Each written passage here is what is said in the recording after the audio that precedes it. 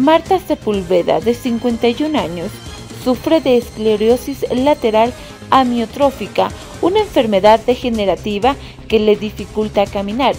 A pesar de que ella se considera una mujer creyente, ha programado su eutanasia para este fin de semana. Asegura que con las dolencias que tiene, lo mejor que le puede pasar a una persona como ella es poder descansar. La justicia colombiana le aprobó una petición para que le permitan morir y así lo celebra junto a su familia.